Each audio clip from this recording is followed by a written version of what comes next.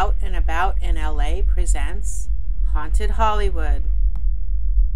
Welcome to Hollywood, California. We've got the Hollywood Walk of Fame. Our mountains are kissed with our name. And we've got more stars than shine in the sky. But we've also got ghosts. Let's start with Raleigh Studios. It's 1915 in Hollywood, California. Birth of a Nation is the number one box office film. By 1910, the population is a mere 300,000 people in Los Angeles. The patent war that sent many of the early filmmakers to the West Coast has settled down. Directors such as D.W. Griffith, Thomas Ince, Mack Sennett, and Cecil B. DeMille have moved in and claimed their place in early filmmaking history. Charlie Chaplin and Mary Pickford were the stars on the screen who were known around the world, and a little studio called Raleigh opened. One of the longest running continuously operated studios in the world, Raleigh Studios grew up in Hollywood with over 100 years of history. They can boast two Academy Awards with the films 1946 Best Year of Their Lives and 1967's In the Heat of the Night. Movie studios during production are a beehive of activity. On Stage 5 in 1932 was no different. The electricians are the angels of the film production. Up high, working the lights, making sure the celluloid stars below were illuminated and beautiful. Enter stage five. As a production was happening, one of these angels up high fell to his death. A tragedy. Stage 5 at Raleigh is still an active stage. Production's still going on. But that's not the only activity. You see, the electrician who died that day in 1932 still shows up for work. He is known for switching lights on and off and moving 300 pound lights hung high from the rafters, making them swing back and forth. But as soon as the swinging starts, it stops on a dime. There are times when the crew on the stage, when it's empty, hear footsteps walking around. Phantom music is heard when there's no one performing. The electrician who fell off the catwalk all those years before still causes some to feel disoriented and lose their balance. His apparition has even been seen on stage five. He's dressed in period clothes from the 1930s. So if you ever visit Raleigh Studios here in Hollywood, California, remember to tip your hat to the ghost of stage five. Who's ready to laugh?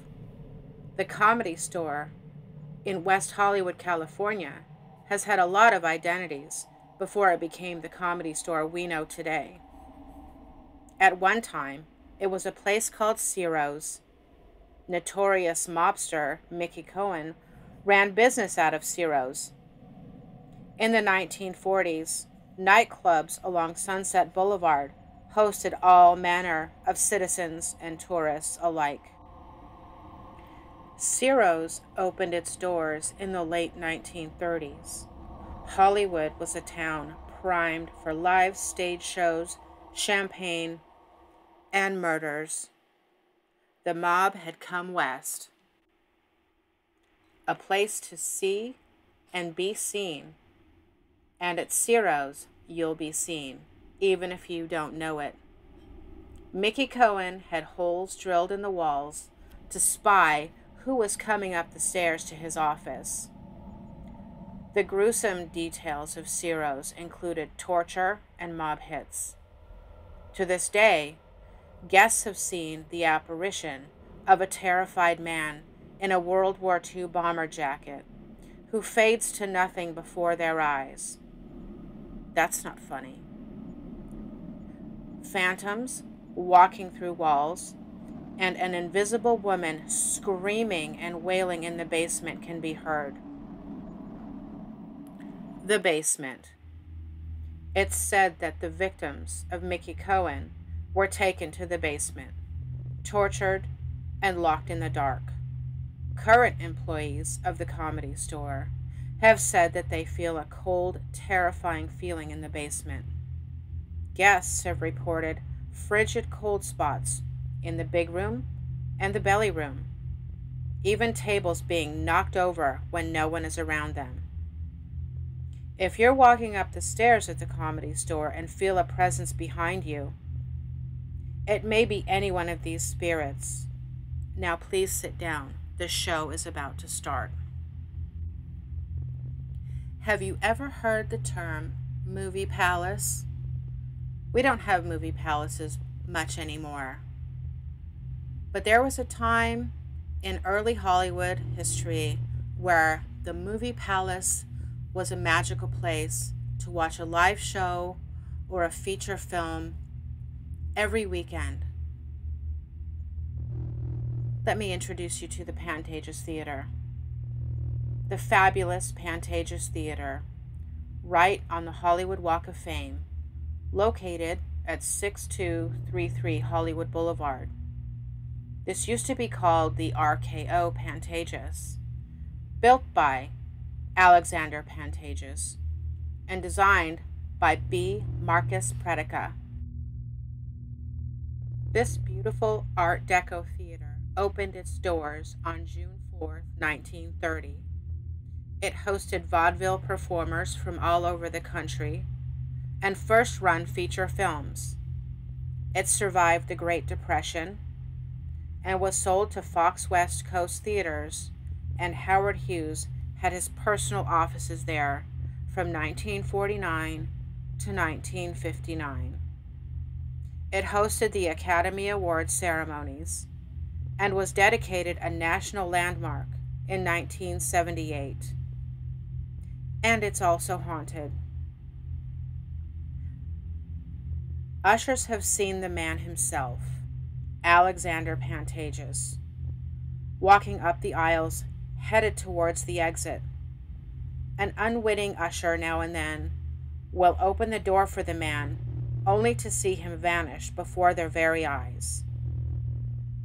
In 1994, a wardrobe woman was leaving through the darkened theater and got a little disoriented the lights along the aisles were off. She tripped and fell, but an unknown person grabbed her by the elbow and helped her to her feet. This silent stranger guided her towards the exit doors. And when sunlight from the open door allowed the woman to gather her bearings and see, she turned to thank this person, and all she saw was a completely empty theater. Howard Hughes. No Hollywood story would be complete without Mr. Hughes. He's also never left. When Nederlander took over the theater in 1992, renovations were done to update the second floor. Howard Hughes's office on the second floor was turned into a conference room. Don't worry, he doesn't mind. One of the executive assistants has felt cold spots and cool breezes where no source of such things could be identified. Howard Hughes has been seen walking down the halls to his old office. At one of the desks, you can hear Howard continuing his day. In his old office, drawers being closed and handles being rattled. He's also been spotted on the balcony watching rehearsals and live shows. And when the security goes up to get rid of the mysterious guest on the balcony, it's empty. Another story about the Pantages. Since the year 1932, a woman has been heard in the auditorium. When the theater is empty, she takes her turn to sing. It doesn't matter what time it is day or night, she sings on this quiet stage. But in 1994, all of that changed. Joseph and the amazing Technicolor Dreamcoat were performing. Although she could not be seen, she could be heard. A microphone picked up the singing specter live in front of an audience. Even today, if a microphone is on, she will take the opportunity to sing. Now, not all of the spirits here are so tame and welcoming. Restoration in the year 2000 began. Apparently, a specter supervisor was hired from the great beyond. He was so involved with watching the work get done that an electrician and a painter both quit on the spot. Is this Supervisor Howard Hughes? Is it Alexander Pantages? We don't know. At one point, a painter working on restoration was interrupted by the spectral supervisor. He was seen in his hat climbing over to where the painter was working. He leaned over the painter's shoulder to inspect his work. When the painter asked the man what he needed, the man just disappeared. This management approach has happened the same way to the electrician. This beautiful theater hosts live guests as well. Be sure to check the schedule and say hello to Mr. Pantages and Howard Hughes on the way out. Let's go a little further down the boulevard, shall we? Let's go to Grauman's Chinese Theater. Sid Grauman, beloved friend to the famous faces of early Hollywood. He opened the Chinese Theater on May 18, 1927. Its opening night showed Cecil B. DeMille's King of Kings. In 1977, Star Wars debuted there. The forecourt has the famous hands and footprints of tons of Hollywood legends, from Harold Lloyd to Groucho Marx's cigar to Daniel Radcliffe and Tom Mix to Gene Autry's horse Trigger. But it also has ghosts. What is it? About these beautiful movie palaces that keep the spirits around. This palatial movie house has grand staircases. It has exceptional architecture, amazing balconies, and ghosts that have never left after the credits rolled. When Sid built the theater, he included secret rooms to host friends in private. These rooms had buzzers to allow them access. Today, those rooms have been sealed off and the buzzers disconnected. But around 1990, employees started hearing the buzzers go off. Someone is still wanting to party. And then there's Fritz. Fritz was a stagehand at the theater. Unfortunately, Fritz ended his life backstage one night. It's said that he is the spirit that still wanders around in the backstage area. You may see his spirit walking behind the curtain. Or you may feel a cold spot or presence of an unseen force. That's Fritz. And then there's sweet little Annabelle, the spirit of a little girl who plays in the theater, moves the curtains, and sometimes moves the chairs. She has been seen by employees and guests alike. If you visit this theater, you will see a great show in a beautiful palace and maybe a spirit or two. The Magic Castle. Who wants to see a trick? Welcome to the clubhouse of magical arts, a mysterious place for magicians and magic enthusiasts. Brothers Bill and Milt Larson opened the castle on January 2nd, 1963. It is indeed a castle, sitting at the foot of the Hollywood Hills. It's been dubbed the most unusual private club in the world. In 1989, it was declared a national monument. It was originally built in 1909 by Rollin B. Lane, and it was originally called Holly Chateau. It remained in the Lane family until 1955, when it was sold to Thomas O. Glover. In September of 1961, Milt and Bill Larson and Irene Larson began its conversion from a private home to a private club. Filled with lots of magical memorabilia, lots of pieces are said to be haunted. Another thing about the castle people have died inside. One unfortunate magician made himself disappear right before his performance.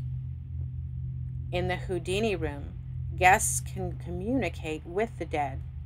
Funny enough, Harry Houdini was a staunch skeptic of being able to communicate with spirits. In the Houdini seance room, William Larson Sr. worked with Bess, Harry's widow, after he had died. She tried to contact him for 10 years. The seances continue to this day at the castle. Apparently, there are up to 12, so far, ghostly inhabitants here. The original medium, Richard Raymond, was able to communicate with his daughter who had passed away. He believed in the seance. Another medium, Misty Lee, said that she's seen a dark, ghostly figure standing behind a guest one evening during a performance. This man has reported that this dark spirit has followed him ever since. Tricky.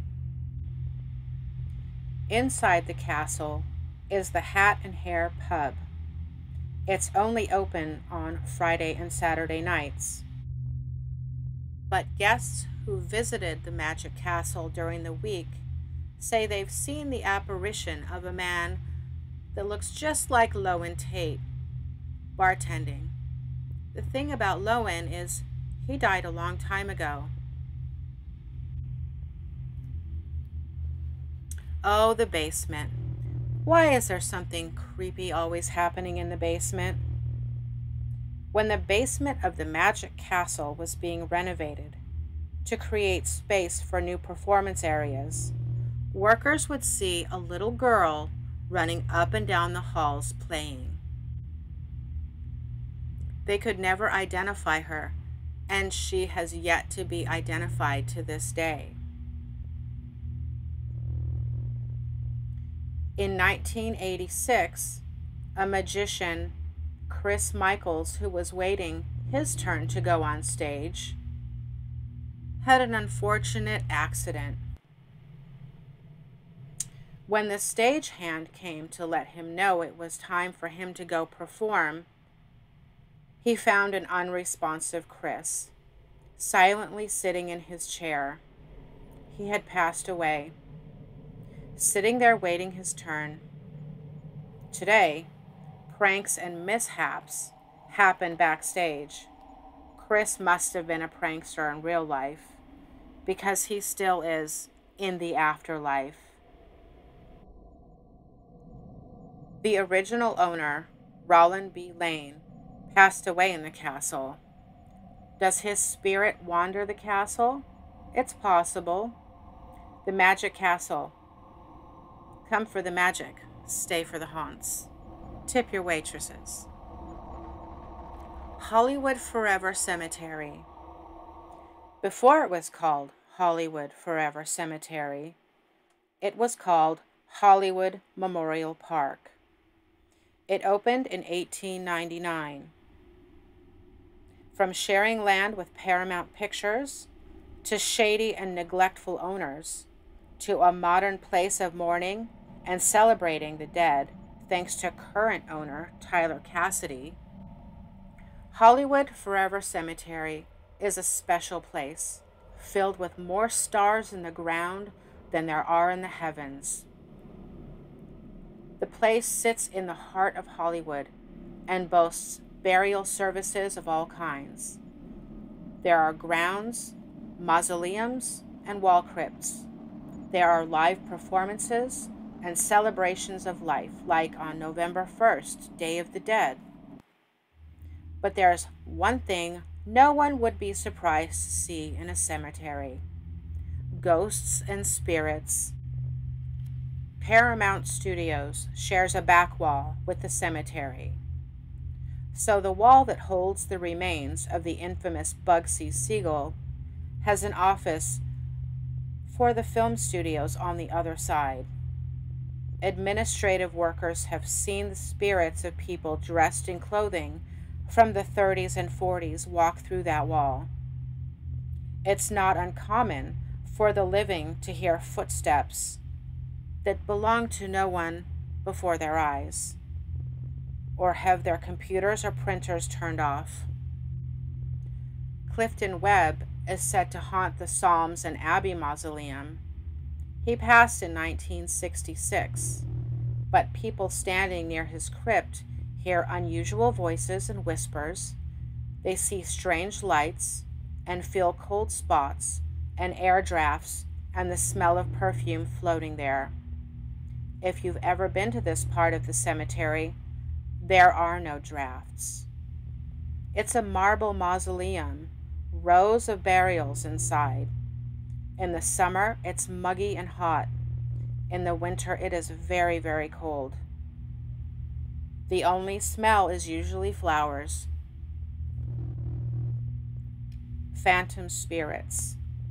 Security guards at night have reported seeing people walking through the graveyard on their security cameras.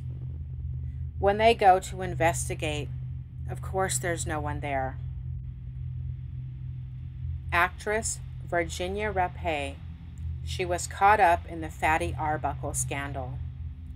That's an entirely different story. She died in 1921 at the very young age of 26.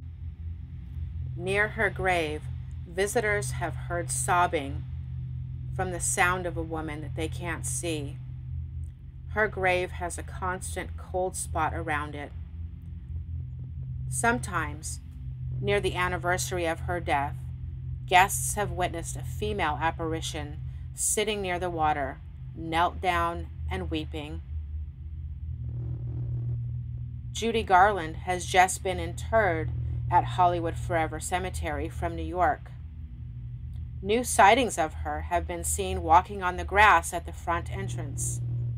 It's said that she looks happy and is looking at the Hollywood sign on Mount Lee, which is clearly visible at the entrance.